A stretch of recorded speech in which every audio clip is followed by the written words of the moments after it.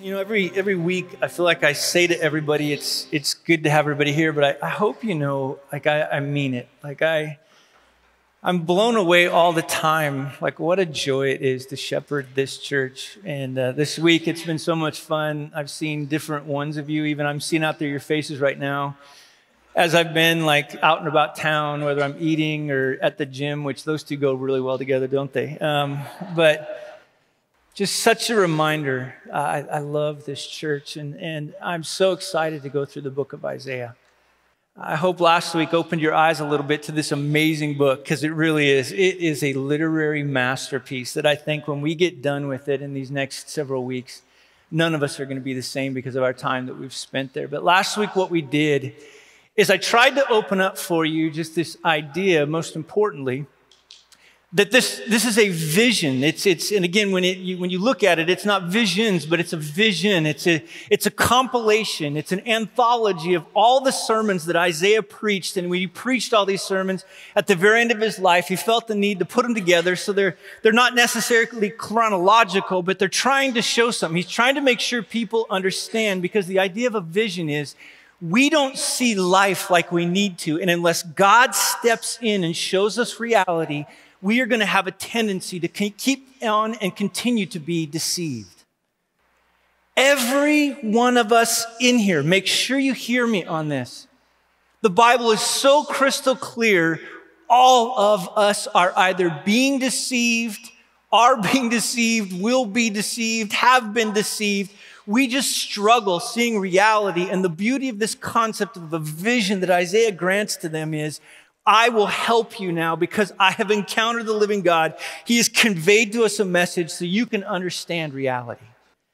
So that's what we're going to be doing. We're going to be taking a lot of time to understand reality. And one of the things that I hope you caught from last week, and it's something that I always try to convey over and over again, never ever forget who you are as God's children. Because I believe one of the biggest things that Satan tries to do is to get you to believe something other than who you are if you're a follower of Jesus as a son or daughter of the King Most High. Never forget that. And Isaiah is going to not only grant us this grand vision, this grandiose understanding of who God is, but he's also going to remind us of who we are in light of this great God. Now, saying that, and we talked about last week, this is our time. It happened to them back in the, before the cross. We now live after the cross, but don't miss this. It is now our time so that we need to understand and ask, what is going to keep us from really being the people God intends us to be? Now, what we're going to do and look in this, because I think Isaiah does this for us, is he's going to lay out what the problem is. And so you're going to see this in this text that there's this idea of a problem that we're facing. You're going to see that in, in chapter 1, verses 2 through 9, and then in 11 through 15. But the, the beauty of it is, is praise God. There's the solution, uh, verse 10, and then verses 16 through 18. And then finally, though, and this is what's always the case every time we study the Bible, there will be a decision to make. So we're going to see the problem so we can just kind of get it wrapped around our heads the problem, the solution, and the decision. That's kind of what we're going to be working through. So, what's the problem? Well, when you look at verse 2, here's how he opens it up. Here's the problem that we're facing. He says, Hear, O heavens, and I love this, and give ear, O earth. For the Lord has spoken, children have I reared and brought up, but they've rebelled against me. Now, the, the idea is, especially off the front end, those first words are to shock us. He's, he's calling into account. I don't know if you've ever been wronged before, but you're trying to find witnesses, right? You're in these finding of witnesses. You're like, no, no, no, come listen to this. Come hear this. And so in God's case, he can't call anyone else to witness. So he calls heaven and earth. He says, come and see what I'm talking about in this idea of rebellion. Now, we don't know what the rebellion is yet. We're going to talk about that here in just a second. But somewhere in this rebellion is, is tied to this idea of children. And he uses these two words, reared and brought up. Now, those two words in Hebrew are important for where we're going in this. So you got to grasp this. I really want to try to convey it to you so you understand what the problem is. To be reared or brought up isn't just like a raising children thing, but each of those words convey this idea of God lifting us to a holy place, lifting us to an elevated status. Again, not because of anything in us, not because we're so special, but his point is, is that my people in humanity, those created in the image of God, my people, my children, I have set aside and I have elevated them. This is what I'm talking about. Don't forget who you are. Now we're tied not because we're great innately and in and of ourselves or, or in any kind of a way, but we are great because God is great. He's conveying this idea when I keep, when I say to you, never forget who you are. This is the shock of God is that in all of humanity, I've chosen a group of people to be mine. Now just imagine this, and they've rebelled against me. Now, in my particular family, my wife and I weren't able to have children, and so we, we adopted our children, which was a, such an awesome path for us to go. But to get this idea of the shock and the horror, our children, we, we wanted them into our family. Of, of all the kids, God in His grace brought these kids to us. We brought them into our family. They became our little kiddos, even though probably, you know, sometimes they wonder, why in the world, God, did you give me these parents? But, you know, that's, that's okay. That's just their lot in life. But there's just this side of it right there, mine. But all of us know the story of kids. At some point, even these parents that love them, that adore them, that care for them. And we are not perfect parents, but God, the perfect father, watched as children rejected him. So don't hear everything I'm about to say as a God that's sitting there railing against you, coming in, trying to tell you what's up. This is a heart wrenching cry from heaven, absolutely blown away that he had chose them and made them beautiful. And yet still in the midst of it, they rebelled against him. Now, what is it then we need to learn? In this problem that we're facing, and you're going to watch all of chapter one do this, it becomes this downward spiral. The first step that moves us towards the great problem of rejecting God or rebelling against Him, the first step is forgetting who you are. The moment that you and I forget the greatness and the grandness, if we're followers of Jesus, of what it means to be called to Him, it is the first step in a many series of steps, a downward spiral towards this idea of rebellion. That's the problem. Now, for some of you sitting there, you're like, oh, I don't know what you're talking about, rebellious. Even for me, like sometimes I sit there and I'm like, oh, I'm not very rebellious. Now, I'm so glad that in the back of your head you're asking that because that's exactly what Israel was asking. In fact, as he's sitting there teaching them, they're like, what are you talking about? We're not rebellious. In fact, one of the things that's so interesting, if you've ever noticed people, is that often we don't think of ourselves as rebellious or something that we've rejected God or that somehow we're offended or that God is offended by us. In fact, in our culture, we're offended by God. All the time I'll hear people say this, you know, you know, God's gonna kind of hear it anyway, so I'm just gonna be offended by God. He knows how angry I'm at him. Now just stop and think about that for a second. I understand what people are trying to say there. But do you honestly think any of you would be offended by God if suddenly in Isaiah 6 we were rushed into the throne room of God?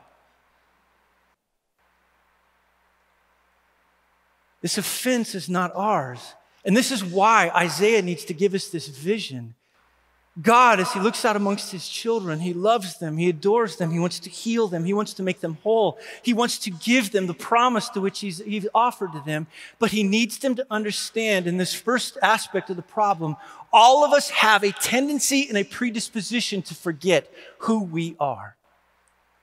Then, when we forget who we are, it's really interesting. By the time He comes to verse 11, I just want you to hear this so you can kind of can feel this. The moment we forget who we are, I think the next step in this process of forgetting who we are is then we start to go down this path in which we kind of don't even care. It's just, we kind of just go through the motions. And so in verse 11, he says, What to me is the multitude of your sacrifices, says the Lord. I've had enough of the burnt offerings, of rams, of fat, of well fed beasts. I don't delight in the blood of bulls or of lambs or of goats. When you come to appear before me, who is required of you this trampling of my courts? Bring no more vain offerings. Incense is an abomination to me. New moon, Sabbath, and the calling of convocations. I cannot endure iniquity, a solemn assembly. Your new moons, your appointed feasts, my soul hates. They become a burden to me. I'm weary of bearing them. When you spread out your hands, I will hide my eyes from you. Even though you make, my, make uh, many prayers, I will not listen. Your hands are full of blood. Yikes. What's going on? The moment we forget who we are, there's a predisposition and tendency then to start just going through the motions. Now, here's what's scary. Many of you, and I probably didn't because I knew what I was about ready to say, so I'm going to give myself kind of an out because I knew I was about to say this.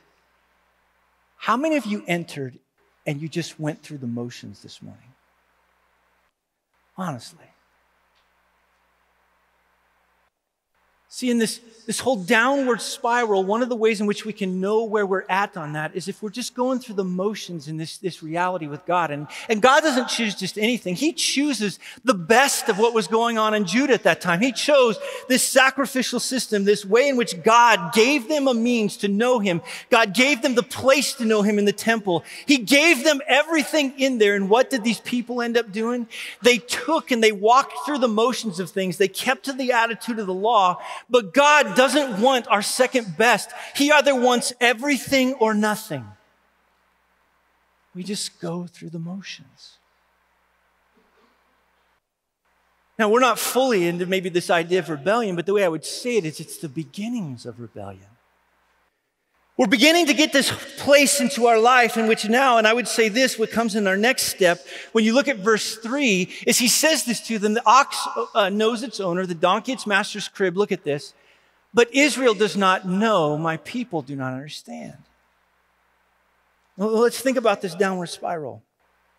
If the first aspect of the spiral is, is that we forget who we are and we forget the greatness of who God is, and the next aspect of it is that then we start to then just kind of go through the motions. We just kind of live as if God is just kind of there and we, we, we, we kind of use him almost in some ways as a, as a, as a get around to get what I really want in life. The next phase of it is, is that we don't, and here's the key word, know.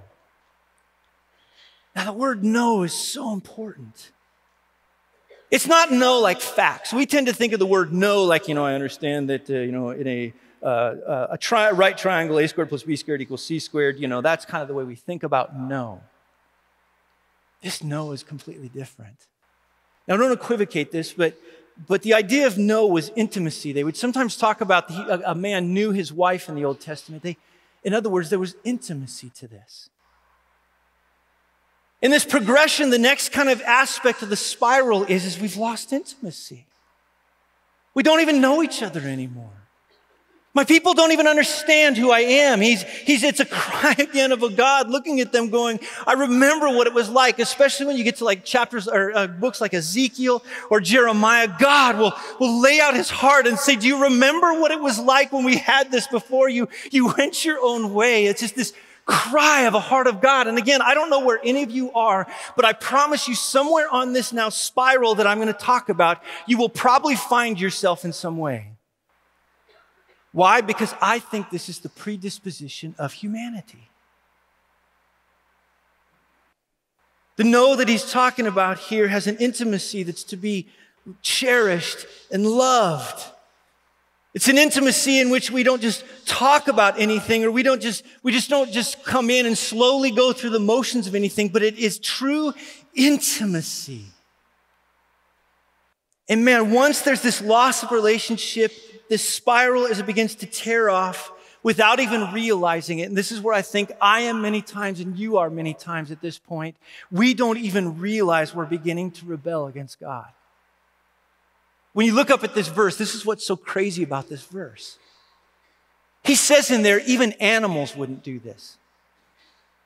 It's meant to shock them. Like, what? He's like, even the beasts wouldn't do this. They know who their master is. See, what is happening now in this progression, this downward spiral that's going on, that all of us, if we're not careful, can begin to go down, is that at this particular point, what he's saying in knowing God and having intimacy with God is that we've lost sight of who our true master is. This is what he's trying to convey. He said an ox understands his master, a donkey understands his master, but in a weird way, you don't even know who your master is anymore. Now, we don't kind of like that word, right? In our culture, we're like, ain't nobody my master. I'm the captain of my ship. You know what I'm talking about? No, everybody in here is mastered by something. Now, what's interesting about the people of Israel and this idea of mastery as it keeps moving on is that Israel and then would begin to trust not in that one, but they would begin to trust them. When you look at chapters 7 through 12, they begin to trust in the Egyptians and the Syrians and the Assyrians. They, they begin to say in the back of their head that we would rather have intimacy with them. Why? Here's the key aspect because they trusted in those people more than anything else. See, I see this maybe in our culture in this way. Let me, let me put it a little bit differently. We have a capacity and an ability to lose intimacy with God by beginning to trust in other things. We begin to trust in things like money, thinking money is going to save us. I mean, right now, I don't know if you've caught it, but the economy is hot, hot, hot, hot. And it's just all over the place. And everybody's claiming the reason for why it's happened. Let me just tell you this. No economy happens to get hot, hot, hot apart from God choosing for it to get hot, hot, hot. But you know this very well. That economy can go like that. We trust in our political leaders. Oh my gosh, I don't know why we do. You know, we're going to be saved by whatever Democrat or we're going to be saved by Donald Trump. No, you're not. They don't save, Jesus saves. God is saying what you're doing is, in this idea of pulling away from me is as we pull away relationally, we begin to trust in that which we are building relationship with the most. And I would say this, whatever you're trusting the most is the thing that you're in relationship with the most. And now again, you're just seeing this downward spiral. Isaiah is just looking at them and begging them and calling them on behalf of God to come back from this. Now, what's so interesting about this is that he, he's showing them that the very, I would say it this way, essence of sin, the very reality of rebellion is a growing. And here's the word that he's going to show us in verse four. He uses the idea of forsaken, and then he uses this word despised. To forsake literally means I'm going to find my hope in other things. That's what I was just kind of talking about. But here's this word despised. I want you to just catch this one. What it literally means is to grow in a distaste for. In other words, now in this progression, what starts to happen to us is we lose an identity of the greatness of God and who He's called us to be. We lose our identity. After we lose our identity, we start to just go through the motions. After a while, then we lose any type of an intimacy and relationship. And then finally, we begin to get to this point in which we have lost all taste for God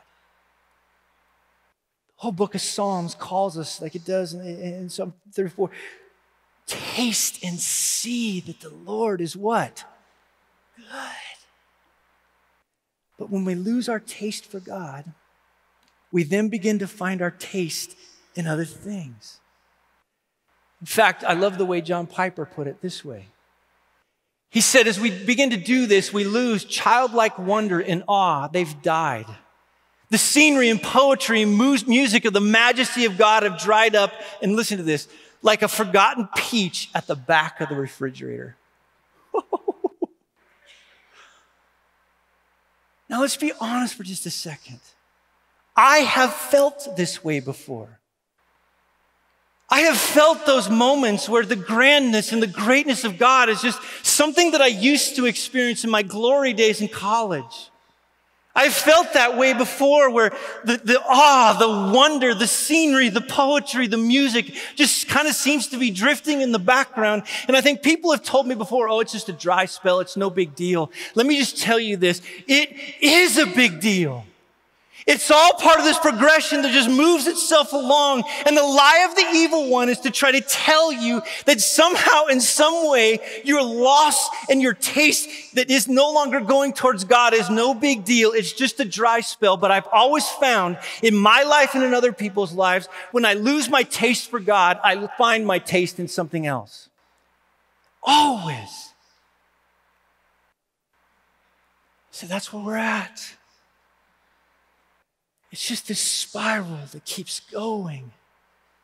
we forget his greatness and the greatness of what it means to be in him. We begin to settle for less. We go through the motions.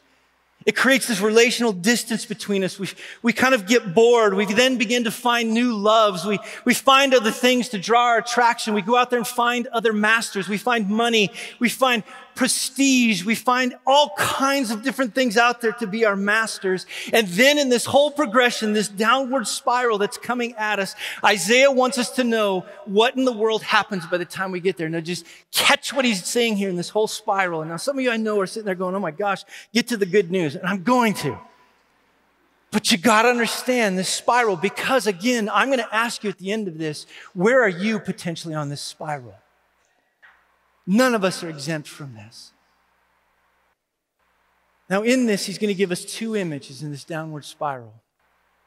The first one in verse 5, he says, Why will you still be struck down? Why will you continue to rebel? The whole head is sick, the whole heart is faint. From the sole of the foot, even to the head, there's no soundness in it, but bruises and sores and raw wounds. They're not pressed out or bound up or softened with oil.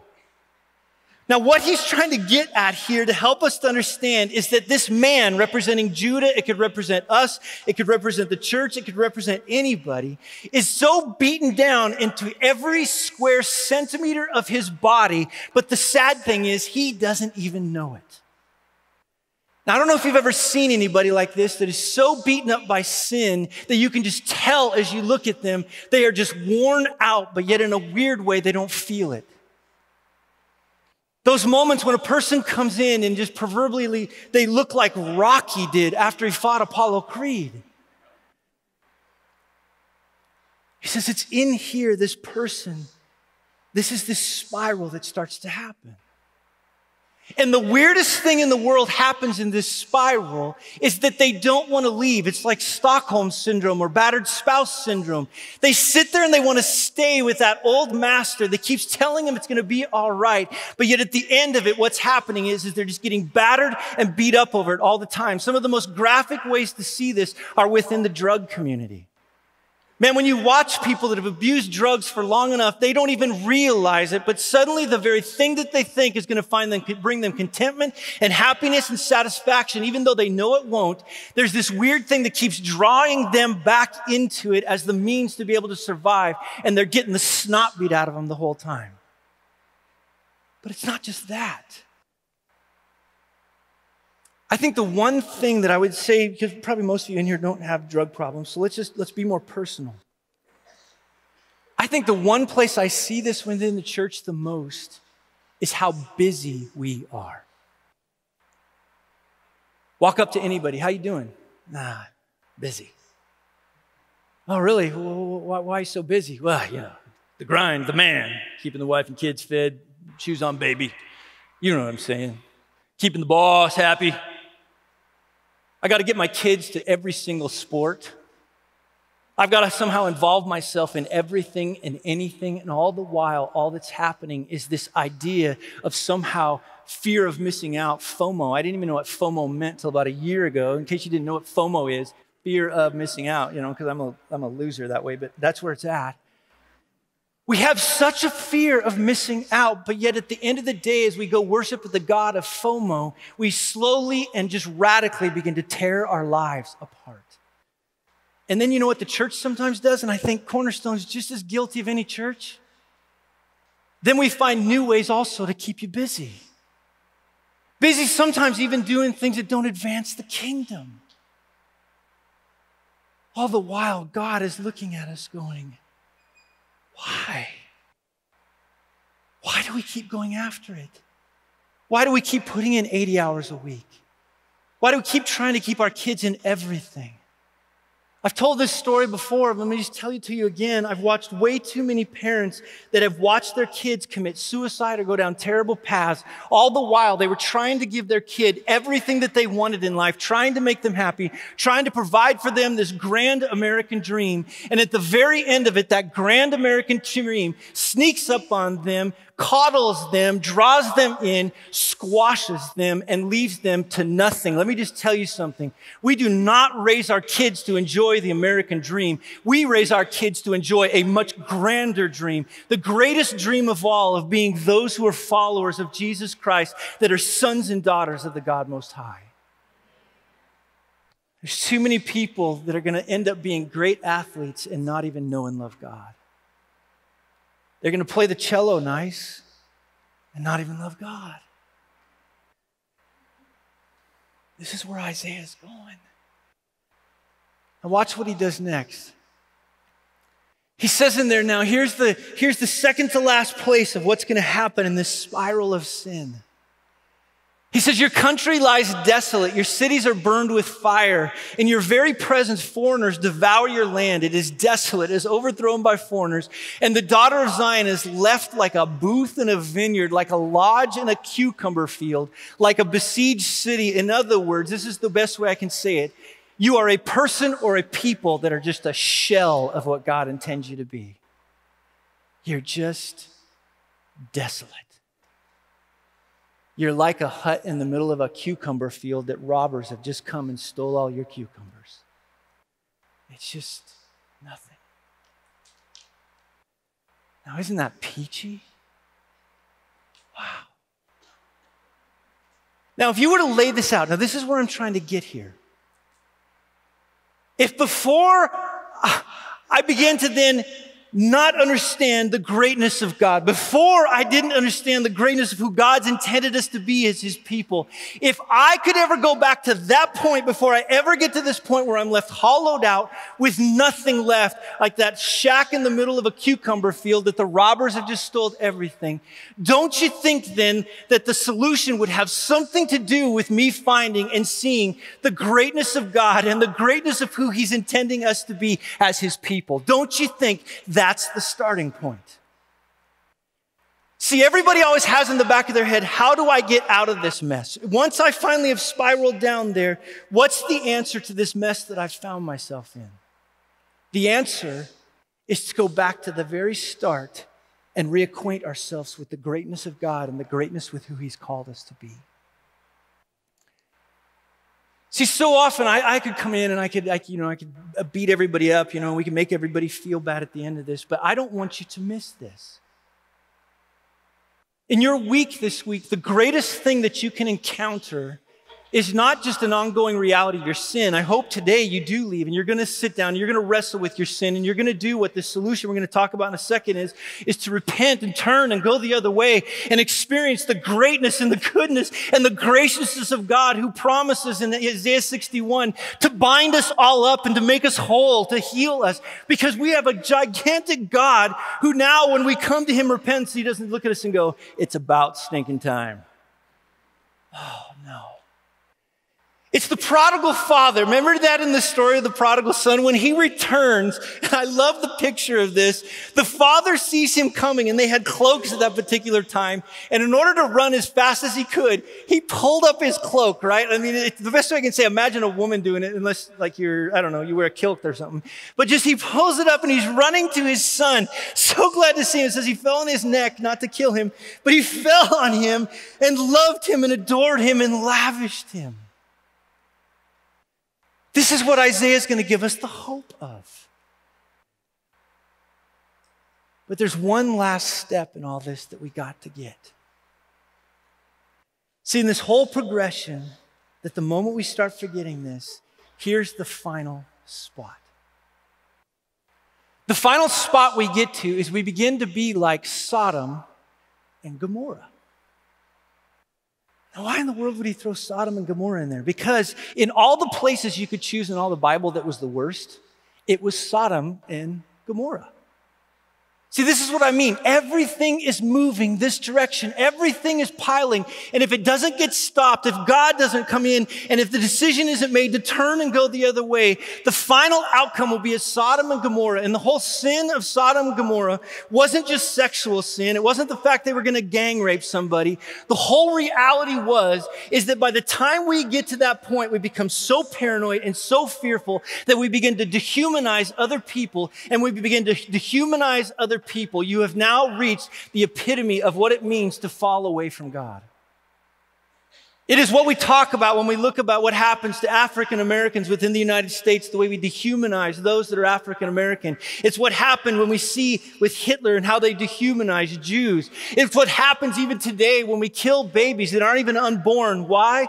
Because the thing I've always found by the time we get to that point is that in some way, this thing is in the way of or the means of my safety, my comfort, my happiness. And I will do whatever it takes there, even bursting down a door to try to some somehow raped these angels that were in a man's room. That's what's kind of going on in this particular reality. That's the final outcome. You just don't even care about God and you don't care about people anymore. Now, before I give you the good news, where are you? Be honest for a second. Be honest. Have you lost sight of the greatness and grandness of God and the greatness and grandness of who He's called us to be as His kids? Are you at this point where maybe you're just kind of going through the motions of everything? You found yourself just kind of showing up for things and kind of going through just this reality and somehow hoping God will be pleased all the while at the back of your, your thinking that really, you know what? I know that I can settle for just less. I just don't even care anymore. Have you found yourself maybe creating this relation? You've seen this relational distance growing between you and God. Are you bored with God? Have you found new loves that entice you and intrigue you more than God? Are you even at the point now where I would say this, where you're so battered and bruised, you don't even realize it anymore, even to the point where when you watch different things or see different things, you don't even have a heart for people anymore. I mean, I sat out and I've done this before, but yesterday, because of this, the convicting nature of not loving people, I sat out in front of my house house just the other night and I looked at all the houses around me and to the stark reality deep within my gut, I had to be honest with myself and say, I didn't even love the people around me. See what I mean? How this can get there? I don't care. We just get there. And the greatest thing in the world in this verse 9, I love this. Look at this if the Lord of hosts had not left us a few survivors. Gosh, I was meditating on that verse, Lord of hosts. We're going to see it in Isaiah 6, right? We've kind of already talked about it. Isaiah enters himself into the very throne room of God, right? And it's peals of thunder and it's, it's earthquakes, everything going on all around him that's crazy. And in the middle of all of it is the grand throne room of God himself sitting there in all of his glory and his greatness. And he is the Lord then of the multitude of hosts that right now are in, walking, are, are flying around his throne, proclaiming his greatness. Something must be greater than my sin. Something must be greater than this downward spiral, or we're always going to go that way. And I'm here to tell you the Lord of hosts, who sits in unapproachable light, who, for those of you that know Jesus Christ, He is your Father. He is the means and the only means of ever stopping this thing. And if you want to, you can actually today repent and turn around and come back to Him, and you will find grace, grace like you've never known. He's the Lord of hosts. He's the Lord of Simi Valley. He's the Lord over all things. He's the Lord over all the nations. I was sitting there at the gym the other day because obviously I don't lift, I sit and I pretend like it, right? And so I'm sitting there listening to two guys talk, you know, and it's the world's falling apart and everything's going to happen. And, and finally, you know, one of the guys looks at me and goes, What do you think? And I go, I'm just so glad there's a God who sits on a throne, who's in control of all things, that tomorrow, if he wanted to stop it, he could. And the guy looks at me and he goes, What God do you believe in? In the back of my head, I'm like, I'm glad you asked. Funniest thing. Right? He just circles right back around. You see this goes full circle? Comes back to the greatness of God. He comes back to the Lord of hosts, the Holy One of Israel. He comes back and tells us by the time we get to Isaiah 53, yes, you are like wandering sheep, all sheep that have gone astray. But the greatest news in the world is he sent a suffering servant to us to die for us, to create this pathway for us to come back to him because of the greatness of Jesus Christ, which we're going to talk about next week when we get to the solution. But don't miss this. Everything full circle comes back to our view and our vision of God and the greatness for who He is and who we are in light of Him. And if today you don't know Jesus, let me just say this. This great God is not a God to be trifled with. Sodom and Gomorrah tried to trifle with him, and he destroyed those cities with fire. But today is a phenomenal day if you don't know Jesus to come and to bend your knee to this Lord of hosts because he is awesome and he is terrible and he is not one that you want to find yourself in front of apart from Jesus Christ. But for those that know Jesus Christ when they stand before him one day, though he will be awesome and though he will be one who is beyond anything that we can imagine, but because you are in Jesus Christ, you one day will be able to stand in front of the great King, Jesus Christ, and he will transform transform you today into the person that He intends you to be. Do not leave here today without bending your knee to that God. For the rest of us in here, I know I didn't get to the full solution. I actually intended to get there, but we're going to have to see that for next week. But I'll say it like I've always said it before, and I don't want you to ever get bored with it. Never forget who your God is. Never. Never forget who you are in light of Him. And may this week, as you examine your heart and you look through maybe where you're at on that scale, may this be the week that you grand, you take a gaze back into the greatness and the goodness and the gloriousness and the graciousness of the King of the universe. And all God's people said, Amen.